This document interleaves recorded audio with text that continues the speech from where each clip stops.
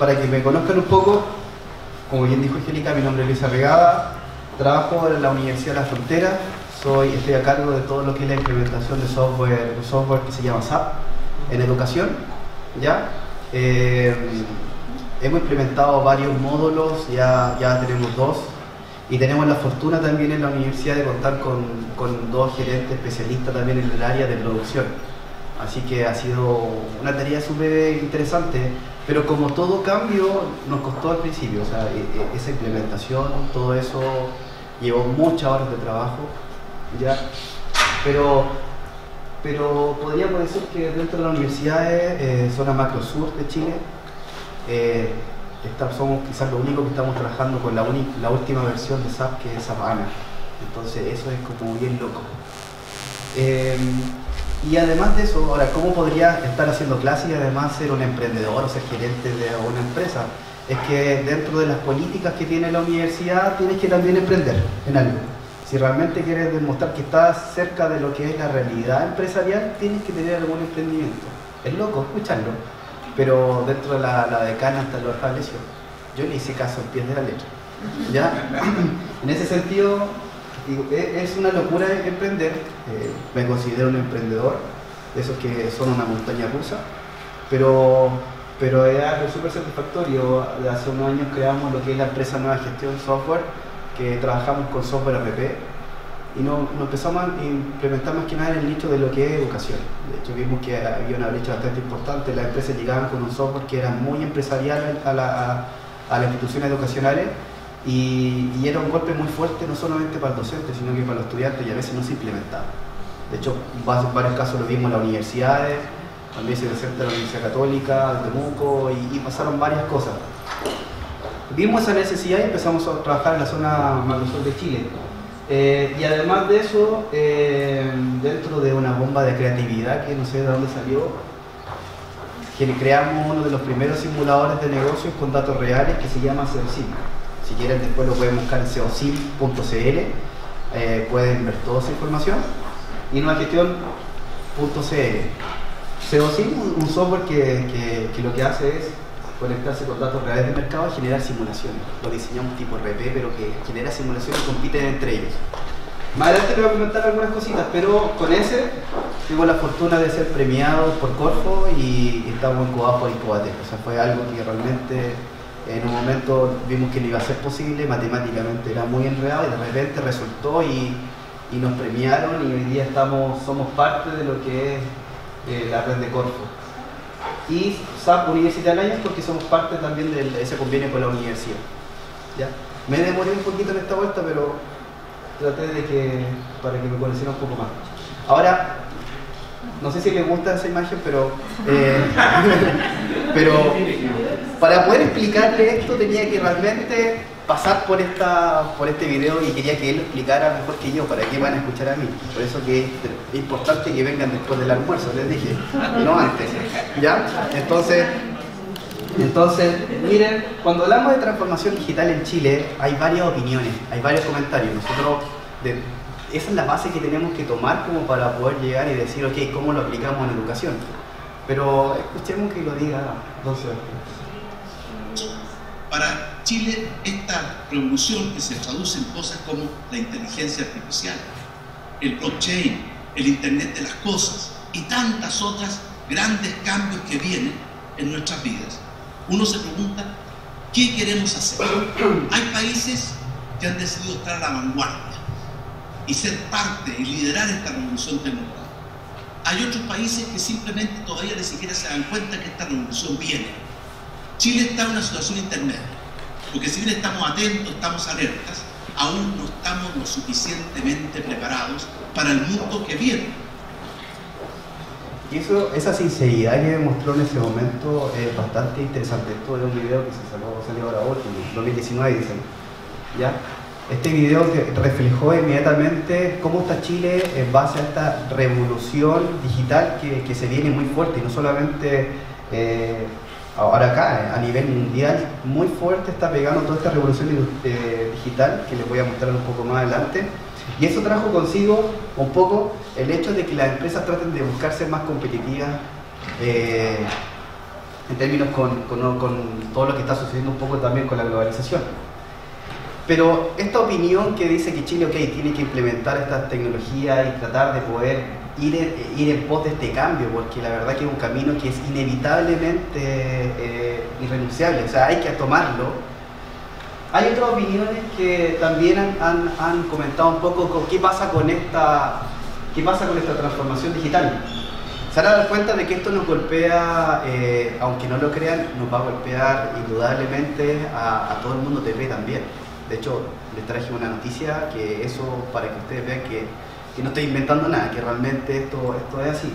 Eh, por ejemplo, Pelayo Covarrubia, yo no sé si es su nombre o le dicen así, pero don Pelayo Covarrubia, presidente de la Fundación País Digital, eh, eh, dijo algo súper interesante que hace, una, hace unos dos meses atrás que me llamó tanto la atención en el diario financiero. Dijo, Chile llegó atrasado a lo que es la transformación digital. ¿Ya? y de repente viendo, el, viendo este discurso de don Sebastián Piñera, también tiene, razón. Dice Chile llegó tarde a la cuarta revolución y esto afectó la competitividad. ¿Y dónde se ve esto?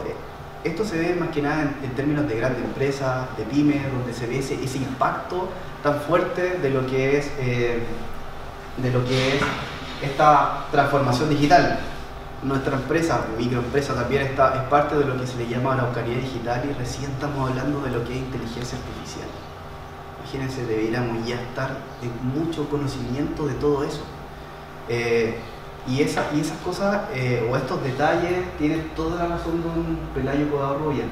Dice que la automatización en Chile ha crecido de manera acelerada, pero miren, eh, el país ha enfrentado a cuatro grandes desafíos, entre esos la modernización del Estado, y ojo eso, la educación del siglo XXI, las regulaciones y la digitalización de las empresas, que eso ha pegado muy fuerte.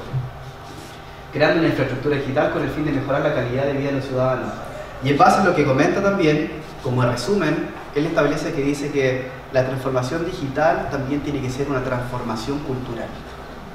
¿Ya? Es un punto súper interesante que establece, si ustedes buscan ese artículo en el diario financiero, eh, apareció entonces Sebastián Piñera hablando sobre esto y inmediatamente empezaron a, a, hablar varias personas relacionadas al mundo digital y él dio su opinión y me llamó mucho la atención. Dice que llegamos tarde, llegamos atrasados, ya estamos, ya estamos afuera. El tema es que esta transformación digital lo que busca es competitividad. Si ven, por ejemplo, empresas a nivel mundial como Uber, Netflix, eh, Walmart, Amazon, Airbnb y una empresa chilena, Corner son empresas que hoy día son todas empresas digitales. De hecho, Walmart está llevando todo lo que es su distribución logística a través de términos eh, digitales. Por eso quería comprar a Corner Shop. No sé si ubican a Corner Shop, ¿algunos sí? El que no lo conozca eh, es, un, es una, una, startup chilena que lo que hizo fue eh, crear un sistema en el cual si tú querías comprar un supermercado podías hacerlo online, pedirle a ellos y ellos te lo llevan. Así de simple. Pero fíjense, y ustedes que son, no sé si algunos eh, son del área de logística acá, porque sé que son logística y recursos humanos. Recursos humanos. Todos recursos humanos. ¿Hay alguien de logística? Sí, colegio, pero yo no hago logística. Entonces me salto todo eso, ¿verdad? ya. Le quería hacer la pregunta porque traía un discurso muy bueno para logística y estuve en la mesa como tanteando todo. Dije, escuché recursos humanos, recursos humanos, recursos humanos. El tema es que en términos logísticos, por ejemplo, Walmart estaba, estaba comprando Corner Shop, no sé si lo escucharon, pero se cayó esa venta. Y después de eso, ¿qué decidió Walmart? Nosotros mismos vamos a construir nuestro propio software para poder hacer esta, este cambio logístico. Y ese cambio logístico fue súper importante porque hoy día lo que hizo en la mentalidad Walmart es decir, ok, el cambio viene ahora, viene con el hecho de que tiene que haber un fuerte, una fuerte potencialidad en la logística y hoy día el cambio digital, las compras van a ser a través de internet. Usted, uno, siempre cuando, cuando quiere darse cuenta de un cambio que viene fuerte a veces lo, lo hace con errores. No sé, no sé, uno se da cuenta de un error y dice, no, necesito cambiar esto. ¿Cuándo sucedió eso? No sé si lo, escucharon o leyeron hace un tiempo atrás, uno, uno o dos años atrás, dos años atrás más o menos, que Walmart dijo, llegó con, con bandera y dijo, venimos llegando a China. No sé si lo escucharon que Walmart llegó a China y en tres ciudades implementó su, mismo sistema con tremendos eh, hiper, mega supermercados que tienen desde un auto hasta una aguja. ¿Ya? ¿Cómo creen que les fue? ¿Bien o mal? Fue súper mal. ¿Por qué? Porque los chinos ya estaban acostumbrados a todo lo que era la tecnología digital. Comprar por internet, ¿para qué voy a gastar tiempo? Compro por internet, sé lo que pido y me lo traen. ¿Ya? Tengo más, mayores ofertas y tengo la posibilidad que me lo traigan. Sí. Entonces, eso, ese cambio ya les fue haciendo clic. Y acá en Latinoamérica quisieron comenzar con Corner Shop, pero no funcionó por eh, una estrategia en México y lo tuvieron que ellos mismos empezar con su estrategia digital. Eh, ni hablar con Amazon, que es uno de las empresas líderes en todo esto. O sea, si hablamos de logística, Amazon es, es- el líder en todo esto.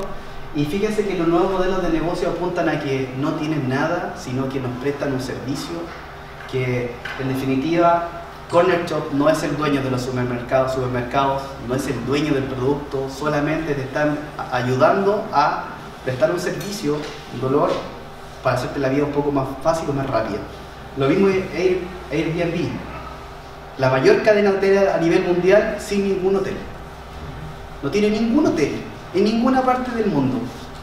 Pero tú es la que mayor, mayor eh, ventas tiene de- en términos de hotelería. ¿Ya? Y ni hablar de Uber, no tiene autos. Ya hoy día me vine en un Uber y la experiencia es genial. Muy buena igual. ¿Ya? Entonces, estamos hablando de, estos tipos, estos nuevos cambios que vienen a nivel mundial, que no solamente son no solamente se deben a estos cambios tecnológicos, sino que a, una suma de muchas tecnologías.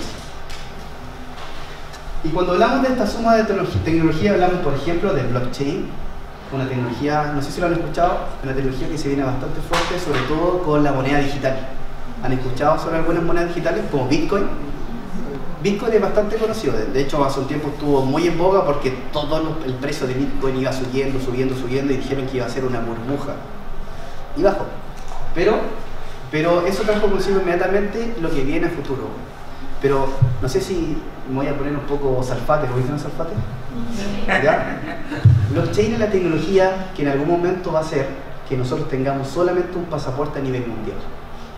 ¿Ya? Es una tecnología que, que lo que hace en cierta medida es validar y asegurarse fidedignamente que algo es correcto. Una transacción que pase por blockchain, te aseguras, eh, te aseguras al 100% de que esa transacción va a ser correctamente realizada y además nadie se va a interferir en esa, en esa transacción. Pensando en un mundo en el cual hay mucho hacking y muchas cosas que existen. Sobre todo en términos financieros va a ser muy importante y no solamente en eso, sino que también pensemos un poco más tipo Salfate. Eh, si, si, si el mundo quisiera tener solo un pasaporte y tener todo controlado y validado, la tecnología sería blockchain. Luego de eso tenemos Internet de las Cosas, donde todo es smart. Smart TV, eh, hasta las planchas son smart. Y, y lo, y lo mejor aún, que, que ha ayudado un poco a la tecnología que hablaba anteriormente, no sé si han visto, pero hasta los refrigeradores ahora son smart. Que viene una pantalla y que te dice que tal producto está por vencer. Tal producto está por vencer. e Incluso te permite dentro de la misma pantalla hacer el pedido al supermercado de forma online. No han llegado todavía acá, pero se viene, ya yo lo leí el año antes pasado, o sea, el año pasado. O sea, eso es lo que se viene y, y todos los dispositivos hoy día pueden ser inteligentes a través de esta tecnología IoT, Internet de las Cosas. Cloud Computing, todo lo que la tecnología hoy día que está en la nube, que no es necesario utilizarla de forma local, Big Data, todos los procesos de datos, todos los datos que te pueden existir, redes sociales, web, eh, incluso mismos datos que puedes tener en tu empresa, donde sea, analizados en tiempo real y en un solo lugar. Y inteligencia artificial, que quizás para mí uno de los más preocupantes, porque el pensamiento ahora se volvió software. Esa tecnología es capaz de poder, eh, poder predecir, es capaz de poder decidir mejor que una persona. ¿Ya? Hace un tiempo atrás, el año antes pasado, o pasado, bien digo, eh, Facebook hizo una prueba de, lo que vendría siendo inteligencia artificial. Y dejaron dos computadores supuestamente con dos tipos de personajes eh, virtuales conversando hasta que llegó un punto del proyecto que se les fue de las manos y ellos empezaron a, entender y a crear su propio lenguaje porque ve- veían que el lenguaje que, el cual se estaban comunicando no era óptimo. Así que tuvieron que apagar las máquinas porque ya se les empezó a salir de las manos. De hecho, lo pueden buscar, googlear y pueden ver ese caso, súper interesante. Yo creo que hoy día esa tecnología nos va a reemplazar en varias cosas, sobre todo en términos de toma de decisiones, que lo vamos a ver más adelante. Y por último, un robot que no es tan político, pero la robótica. La robótica, sobre todo ustedes que son del área de, de recursos humanos, el mayor peligro que puede tener el recurso humano en una empresa es la automatización, ¿verdad? Nosotros trabajamos en el sur directamente con la empresa que es Roser, y Roser tiene toda su planta en la zona de la Araucanía, ¿ya? Y, es una locura ver eh, cómo trabajan, o sea, ellos dicen, nosotros buscamos ser lo más competitivos posible, porque si un día hablando con el gerente, don Gustavo, dijo, si yo quisiera comprar eh, aluminio lo compro mucho más barato y que me lo traigan listo de tal país. Pero nosotros, nuestra misión es utilizar el mismo recurso humano que es de la zona y tratar de con ellos ser lo más competitivos posible y competirle a, los demás en niveles de precio. Y lo hacen, ¿no? Y lo hacen. Pero la clave o, lo que está, la tecnología de la robótica, lo que está haciendo es eh, automatizando todos los procesos de planta y en recursos humanos. Eh, más adelante le voy a comentar algunas cosas de recursos humanos, pero para que vean lo avanzado que está la robótica. Ese es un robot. ¿Lo han visto?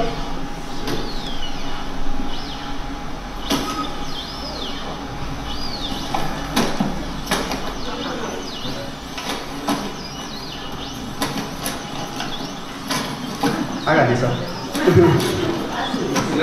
Hácete. Yo con suerte salto.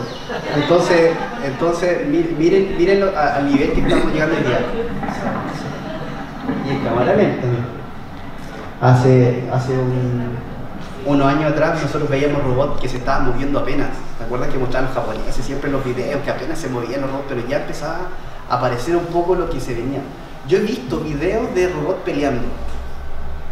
¿Ya? En el sentido que lo empezamos a empujar, lo empiezas a empujar, no hace nada y de repente reacciona. Y te pega. Pero te pega igual que como Bruce. Como que grabaron a Bruce Lee y le pusieron el cerebro del robot. Entonces, todo eso está muy fuerte. Incluso se, habla de que cerca de 1.3 millones de robots de aquí en 2020 van a empezar a automatizar las plantas de varias empresas del mundo. ¿Ya? Entonces ustedes saben el impacto que tiene en recursos humanos eso, ¿verdad? Es fuerte. El tema, yo creo que el desafío, como este tema, este tema y esta charla habla sobre los desafíos de esta transformación digital, tiene que ver también en nosotros en el área de recursos humanos, de cómo también tenemos la capacidad de cuantificar eh, y medir y controlar todo el recurso humano, pero medirlo de otras formas que ya no son las cotidianas como ahora. Nosotros nos basamos en... Eh, en códigos del trabajo y, en una ley que está rígida y estricta, pero a nivel mundial tienen varias otras cosas más. Se lo voy a ir comentando más adelante. Cuando hablamos de estas principales tecnologías de Industrias 4.0, eh, solo para recordar estas cuatro grandes revoluciones para que las consideren. Primero vapor, que fue en el siglo XVIII, después todo lo que es eléctrico o, la revolución eléctrica, pero que viene también de la mano de la energía, más que nada, energía eléctrica y petróleo. Después de eso, que fue en el siglo XIX, después del siglo XX en adelante, Internet, y dicen que, la última dicen que es de los datos, o sea, todo lo podemos procesar. De hecho, no sé si a alguien le llama la atención que cuando vamos al supermercado te piden tu root. ¿No le llama la atención? Yo sé lo que pasa en el trasfondo, pero por solamente por el descuento le doy mi root pero, pero, pero eh, tú sabes que ellos tienen controlado todo lo que compras, saben incluso, tienen la idea de cuánto es tu núcleo familiar, porque saben lo que compras, saben si tienes familias, si tienes hijos, saben todo. Los descuentos, los descuentos que hacen en la tienda o los, los vouchers de descuento que aparecen en la boleta son a productos que, que, que uno está comprando constantemente esto no estaba arreglado. ya, no Tiene toda razón. ¿Quieren ver un caso? ¿Tienen su celular en la mano? ¿Sí? La empresa Target, pues mientras tanto ustedes van tomando su celular. ¿Ya? La empresa Target en Estados Unidos dijo, mira, cómo, puedo, puedo mejorar mis ventas para un supermercado? ¿Qué es lo que es mejor? del nicho familiar. ¿Qué, ¿Cuál es la persona clave? ¿Quién? Los niños dicen por acá, Profesora Ana, ¿no está arreglado tampoco? ¿Quién dicen ustedes? ¿Qué creen ustedes? ¿Quién es la persona clave de un núcleo familiar, pero en hablando de negocios para un supermercado? La mujer. ¿Por qué? Porque la mujer toma la decisión, no. pero profesor, digamos, muy bien.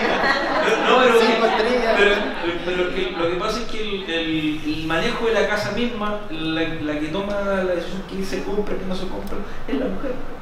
Pero al supermercado le interesa a la mujer que está por quedar embarazada.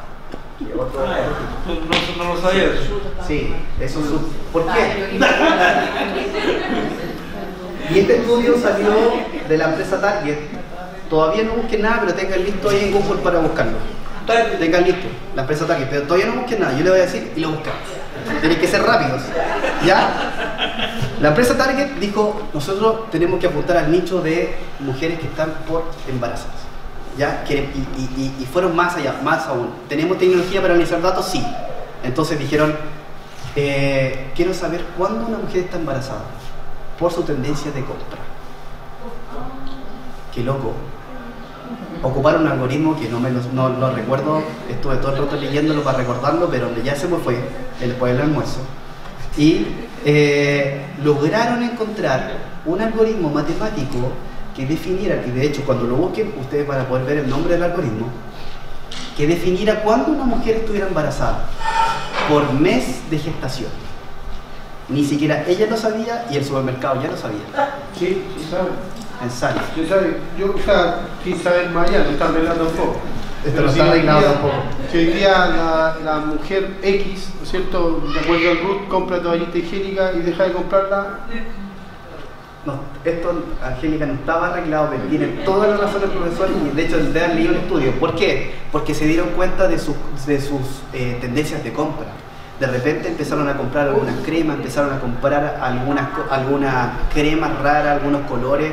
Si compraban colores como celeste, como rosado, ya empezaban a, a saber en qué, en qué mes de gestación estaba. En fin, hasta que llegaron al punto de que el algoritmo descifraba cuando una mujer estaba embarazada y en qué mes de gestación estaba. ¿Y qué es lo que hacían ellos? Te enviaban, te estoy hablando de varios años atrás, no te enviaban un email, sino que te enviaban una cartita abajo, promoción.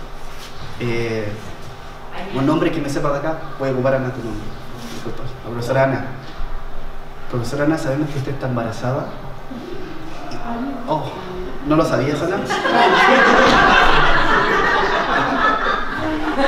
Me llamó al supermercado y me dijo que estabas embarazada. y sabemos que estás embarazada y tenemos todas estas promociones para ti. Y las mujeres, oye, pero ¿cómo saben? Y el tema, y, empezó.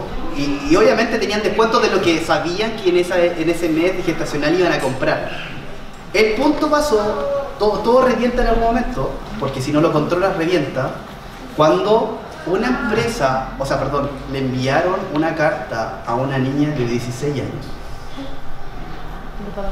Felicidades, sabemos que estás embarazada, tenemos todos estos descuentos para ti y lo ve el papá.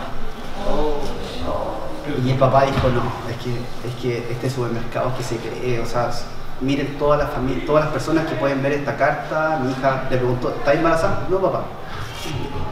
Mi hija no está embarazada. Y es la verdad que estaba embarazada, le había gustado. Y él fue a reclamar al supermercado. Reclamó hasta el punto que esto reventó y el supermercado le pidió toda la disculpa de un tema matemático, tuvo que publicar su estudio, tuvo que publicar este algoritmo, todo. Llegó a la casa el caballero después de un tiempo, papá estoy embarazada. Era verdad, no te lo puedo decir.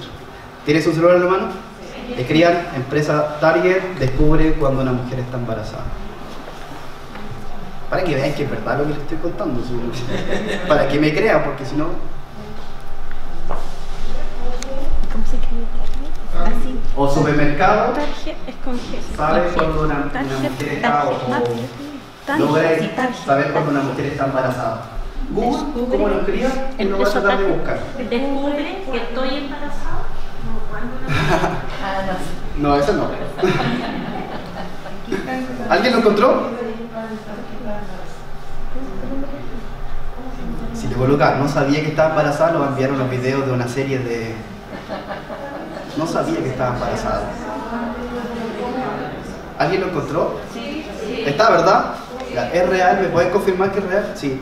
Si quieren ver ese estudio, lo pueden leer porque igual es interesante de repente comentárselo a los estudiantes. Es un estudio súper interesante de cómo el uso de datos me puede llegar a identificar algo tan complejo como saber si una mujer está embarazada y su tiempo gestacional.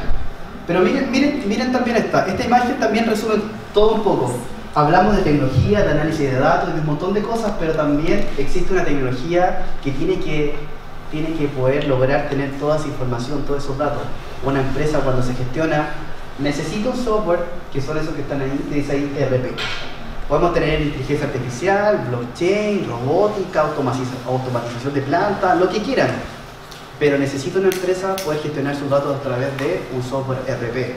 Entonces, se dice que es como la piedra angular también en términos empresariales para una empresa. O sea, todas estas tecnologías, toda, este- toda esta revolución digital también se tiene que centralizar en esta tecnología.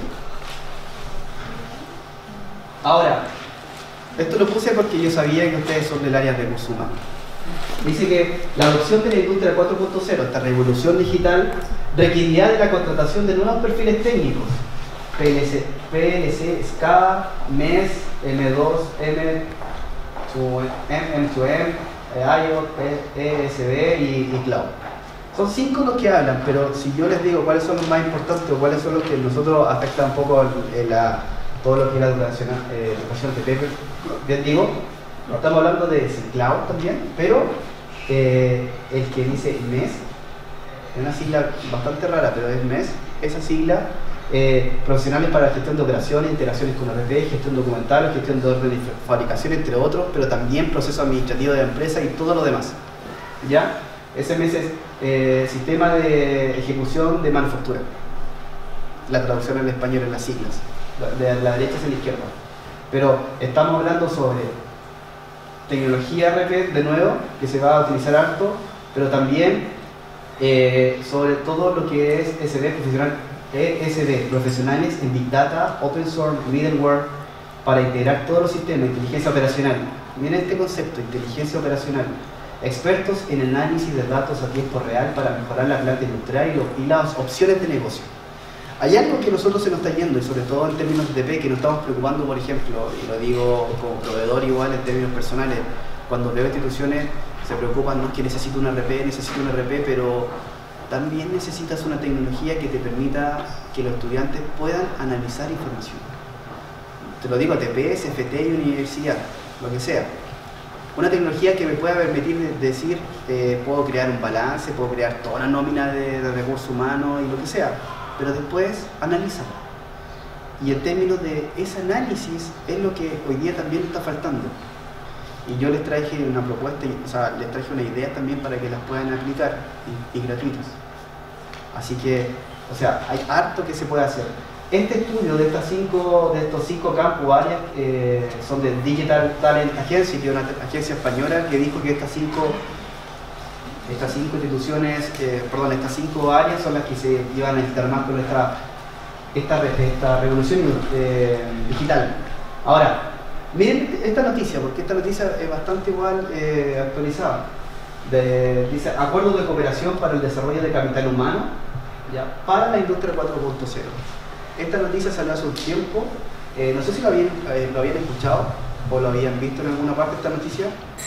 Ustedes son todos del área de TP y yo igual he estado conectado, pero ni la, no la había escuchado. Ninguna parte había salido. Y el hecho fue que eh, estas instituciones, que son Asociación Chilena de Empresas de Tecnología de Información, la SOFOFA, Ministerio de Educación, Subsecretaría de Economía, Subsecretaría de Hacienda, Comité de Transformación Digital y Corfo, se unieron y dijeron, mira, ¿sabes qué? Necesitamos crear un plan para que esta, esta eh, transformación digital llegue también a, a educación, llegue a instituciones. Y que no solamente llegue a instituciones, sino que pusieron énfasis en, la, en, la, los estudiantes del liceo técnico profesional. Y ahí fue como, ¿y qué está pasando? Ellos ya se empezaron a preocupar de que son los primeros que salen al mundo laboral, porque en la universidad ya, ya, ya igual es tema. Y eh, lo primero que empezaron a, pensar es que este convenio defiende como prioridad la formación de capital humano calificado en el sistema educativo formal y la capacitación y el uso de las TIC para la transformación digital de la industria nacional. O sea, lo primero que pensaron fueron en mujeres, en liceos técnicos profesionales y en pers- personas con condiciones especiales. Esos fueron los tres puntos. Dijeron que vamos a enfocarnos en la transformación digital en estos tres puntos. Pero los liceos TPE están ahí. Ahora, ahora dentro de estos temas o, esto, la importancia que tiene esta transformación digital, eh, tiene que ver también con la consideración de que eh, las universidades también están en, esa misma, en ese mismo camino, los CFT también, Centro de Formación Técnica, y dentro de ese mismo camino, ese horizonte, hace dos meses atrás, en el diario financiero aparecieron las grandes escuelas, las cinco más grandes escuelas de negocios de acá de Chile, diciendo qué es lo que estamos haciendo nosotros en nuestro cambio de currículum para poder eh, eh, llegar a esta o, tratar de hacer algo con esta transformación digital. Y esto, esto en realidad de universidades. Si, si tú o lo quieres o usted lo quiere, puede buscar ese- esa noticia en el diario financiero y aparece en estas instituciones. Lo que buscan ahora es que el profesional de cualquier área de negocios también pueda programar. Fueron la mayoría que empezaron a decir, necesitamos que empiecen a programar. Segunda, segunda, segundo punto muy que fue el dominador común, que aprendan a analizar. Necesitamos que analicen. Los estudiantes nosotros los podemos convertir en estudiantes que generen una planilla de remuneraciones, que generen eh, un contrato, que puedan crear un empleado, que generen un libro de remuneraciones y muchas más cosas. Pero también necesitamos que analicen el por qué. ¿Ya? ¿Cuánto es lo que tenemos que producir? ¿Cuánto son las horas hora hombre que necesitamos para? Etcétera. O sea, son muchas variables que se tienen que considerar también y ellos también apuntan a eso. Entonces, yo creo que es una. Solo como una recomendación, lo, lo anotaría por ahí qué es lo que podemos hacer. Hay un camino súper importante, sobre todo porque hoy día también los estudiantes tienen que aprender a utilizar bien Office, bien eh, Excel y un montón de tecnología. Pero la que les voy a recomendar, pero junta muy bien con Excel y pueden hacer muchas cosas con eso. ¿Ya? Ahora, estos cambios también han pegado un poco la economía chilena, como por ejemplo facturación electrónica, eso pegó muy fuerte, pero no pegó fuerte tanto al término educativo. De hecho, ni las universidades, ni los FT, ni los liceos TP están enseñando cómo, oye, hablemos de facturación electrónica. Podemos comentarlo, podemos hablar técnicamente de cómo, cómo esos DPS se, envían de- desde una empresa, desde tu software, hasta el software de, perdón, hasta el servicio puesto interno, cómo hoy día ellos aplican un timbre electrónico, pero, pero al que le golpeó bastante fuerte fue a los microempresarios, a las pymes, porque las empresas grandes ya lo habían adoptado hace rato. ¿Ya? Ese cambio fue muy fuerte y hizo que hoy día ustedes se lo han visto. eh, el contador, eh, el administrativo de una empresa, sí o sí tiene que tener internet. Antes, una- antes de facturación electrónica, uno veía empresas que no tenían internet vivían normal. Yo lo vi. Pero después de esto, ni siquiera siendo la microempresa, la más pequeña, donde tengas una persona, ya tienes que tener internet. Y no solamente eso, tienes que manejar toda tu facturación a través de ese servicio puesto interno, facturar a través de ellos y emitir los libros directamente con ellos, lo que también golpeó un poco el área de contabilidad. ¿Ya? Eh, pero, pero, pero trajo igual una oportunidad bastante interesante hoy día que aceleró un poco el camino entre las pymes en la adopción de tecnologías de información. Ahora, oficialmente estaba vigente en 2003 y se aplicó primero en las grandes empresas. Y la, el primera, la adopción fue de forma voluntaria. Y se dieron 5 a 10 años para que eso no, para que, para que se adoptaran otras empresas. Pensaron que de forma voluntaria varias empresas le iban a adoptar.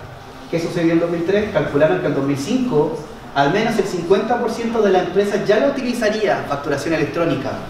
Sin embargo, a 11 años de su implementación, desde el 2003, y con un universo alrededor de 500.000 empresas, solo 89 89.000 empresas utilizaron facturación electrónica, o sea, un 17,8%. La implementación al principio no, no, no empezó a dar. Por eso que se empezó a utilizar o se empezó a decir, ok, facturación electrónica obligatoria, porque ya de forma voluntaria no va a pasar. ¿Ya? Y estas son, la- son la- las primeras el calendario de implementación de facturación electrónica. Eso aceleró también que las instituciones TP, CFT y universidades dijeran, nosotros tenemos que tener software. En el área de negocio, software. No tanto teoría- sino que empecemos también a llevar esa teoría a la práctica. ¿Ya? Eso, eso, eso fue bastante potente. Ahí empecé a escuchar, empecé a escuchar de que realmente lo necesitábamos. Lo que hoy día se viene, modernización tributaria, hablamos de, varios cambios donde van a poner impuestos relacionados directamente con lo que es la, estos software digitales, etc. Voy a esperar de pasar antes que le saquen la foto. ¿Ya? Y hablaba con el, con un profesor ahí en el almuerzo, hoy día lo que se busca esta, esta modernización tributaria es que exista obligación de contabilidad completa. Hoy día no existe eso. ¿Ya? Lo que encuentro para mí, a mi opinión lo encuentro mucho mejor, pero ahora quieren que sea realmente completa. Eso para mí como microempresario es súper fácil, dos clics y ya saco todo. ¿Ya? Ahora, las TIC en la empresa lo que buscan realmente es satisfacer las necesidades de información. Eso buscan las, las tecnologías de información, RP, SRM, lo que ustedes quieran. Soy de gestión. ¿Ya? Y miren la palabra de nuevo. ¿Por qué hablamos de la transformación digital? Hablábamos de competitividad. Las tecnologías de información vuelven a traer competitividad a la empresa. ¿Ya? Mejoran los resultados, obviamente, y tienen un soporte de los sistemas de información. Todas las áreas nuevas que va gestionando la empresa. Estos son los software RP que tienen ese dibujo como una flor. Técnicamente, ¿por qué es como una flor? Se le llama juxtaposición de los sistemas de información. Es una tecnología que lo que hizo es que si el área de producción ingresaba un, un movimiento de mercadería o de materia prima, contabilidad lo sabía de forma inmediata. Si a, a producción le, fal- le faltaba, le faltaba, por ejemplo, recurso humano, le faltaba horas mano de hombre, hora, hora hombre, eh, finanza, contabilidad o recurso humano, tenía que gestionarlo. Todo esto en tiempo real y de forma autónoma en una sola base de datos. Buscó la fidelidad de la información. A veces nosotros en, la- las instituciones, instituciones educacionales no adquirimos software RP, adquirimos suite de gestión, pedacitos de un software RP. Creo de forma personal que si solamente lo quieres aplicar en una clase está bien, pero la idea es que el estudiante sepa sobre software RP, que sepa todas las variables. Miren, pensemos en recursos humanos. Uno necesita solamente el área de recursos humanos como generar nóminas, etcétera, ¿verdad? Pero es interesante que ellos sepan cómo llegamos a eso. Cómo llegamos en términos de compra, de venta, contabilidad, temas productivos, a poder llegar a lo que se requiere después de recursos humanos. Por eso que son buenas estas tecnologías y la transformación digital lo va a llevar a que utilicemos más RP. Hay un montón de, a mí me tocaba ir a un montón de liceos TP y hablar y me, me dicen, el último que escuché fue un, liceo TP que dijo, no, yo tengo en otras noches. Pero ven un pedacito de contabilidad y los estudiantes se van con ese pedacito y no saben que el mundo tiene muchas más cosas, el mundo empresarial. Entonces son cosas, son, temas que tienen que considerar. Es bueno que aprendan sobre toda la área. Y, y con esto me voy quedando. Miren, miren esta tecnología, se llama Business Intelligence, inteligencia de negocios. ¿Se acuerdan que le dije que hoy día es muy importante el hecho de que puedan analizar información los estudiantes? Esta es la clave. Business Intelligence, inteligencia de negocios. Esta tecnología te permite, permite decidir, predecir, comprender y observar. Y esta tecnología, lo importante que tiene es que no es tan complicada de utilizar.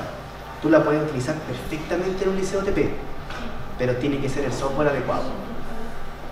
Yo les voy a comentar un software que es gratuito y que realmente tienes los mejores resultados que puedes tener. Ahora, este software puedes crear, eh, puedes crear cualquier cosa en un software RP, imprimir o, generar listado en Excel de la información que tú quieras y las puedes analizar en este software. Te toma tu Excel, te toma el dato que tú tengas, en un CSV, en un Excel, en un Access, lo que sea, y te lo procesa y tú le vas dando los indicadores que quieres. Esto se viene, o sea, la universidad ya está todo aplicando esto y esto se viene muy fuerte y yo creo que los TP debieran ir para ese lado también. ¿Ya? Técnicamente, fíjense, está RP. Entregan toda la información. ETL significa eh, un proceso de extracción, transformación y carga para luego generar estas bases de datos y esas bases de datos chiquititas que se llaman data. Eso es, es más técnico, En definitiva, lo que buscan es analizar datos, información, grandes cantidades de datos. Y un software, y ese es mi regalo hoy día, ese software es el mejor que existe, es gratuito para una sola persona, pero si tienes 20 computadores puedes descargarlo 20 veces, instalarlo en los 20 computadores y te va a correr genial. 32. Si tienes 32, en 32 computadores. Si tienes 100, en los 100 computadores. Pero tienes que tener una cuenta. Uno solo. No, no, no. Cada, cada descarga es una cuenta. Es un computador, una cuenta. A eso, a eso me refiero. Un computador, una cuenta. ¿Ya? Mira lo que puedes hacer. Se ve bonito, ¿no? Sí. El análisis. ¿Sabes cuánto te demoras en entender cómo funciona? Tres videos en YouTube. Todos los videos están en YouTube. Cómo utilizarlo. Y tú llegas, lo instalas en tu equipo y después le dices a los estudiantes, es gratis. Lo buscas, lo descargas, le, le dices a tu encargado de, de informática que lo, lo descargue lo instale y listo. Y, y, y qué se tiene que preocupar al profesor? Primero, de qué información quieren que analicen y qué indicadores quieren que ellos, lleguen los estudiantes, pero que lleguen solitos. Y después, y después de eso, ¿cómo quieren que hagan los dibujos? Ellos lo hacen, esos gráficos, eligen el gráfico, eligen el indicador y van solitos. Pero se lo aseguro, son dos, tres videos en YouTube y listo. Y, están todos gratis en YouTube. Está lleno, plagado de videos en YouTube de cómo analizar datos. Eso es muy potente. Yo, de verdad, si, si, si quieren recordar algo de mí, recuerden eso, por favor. Es importante que los estudiantes ya empiecen a analizar. Es parte de esta revolución digital, es parte de que tienen que analizar. ¿Por qué? Porque hay robots que están tomando decisiones por nosotros. Nosotros tenemos que preocuparnos ya de analizar información. ¿Ya? Y lo que hacemos nosotros, tecnología RP para educación, en administración, también nos enfocamos en logística, en gestión.cl, eh, también lo que hacemos es en especialidad recursos humanos, en contabilidad, estamos en la universidad, SFT, liceos técnicos profesionales, y este es el software que fuimos premiados por, eh, por Incubatec, perdón, por Corfo, con fondos, y también por Incubatec, CO5.cl, que es analiza, decide, dirige y controla todo en un entorno competitivo. Todos, todos compiten contra todos y busca algo súper interesante, tra trabajo en equipo, liderazgo, algunas competencias que no las puedes generar directamente en un software, pero también mucho análisis y toma de decisiones, que eso es lo que fuerte que se viene, lo que le estoy tratando de decir. ¿Ya? Creamos la competencia de negocios SEOSIM, que es, diría que casi una de las más grandes que está en la zona sur de Chile, eh, pero solamente fueron invitados tres liceos TP, tres FT y eh, dos universidades, la Universidad Frontera, Universidad Católica, el CFT de Araucanía, eh, el CFT de Euroweekend, su sucursal en Angol, etc. ¿Ya? Y somos apoyados por Everest Telefónica del Sur, o sea, tenemos buenos auspiciadores. ¿Ya? Y justo a tiempo. Muchas, muchas gracias por su atención. Los pillé todos suavecitos después del almuerzo. Así que fue lo mejor, ¿ven? Así que se lo agradezco por escucharme y fue un gusto, un placer poder venir a conversar con ustedes, decirles, contarles algunas cosas que tienen que empezar a aplicar. Así que muchas gracias espero que les sirva.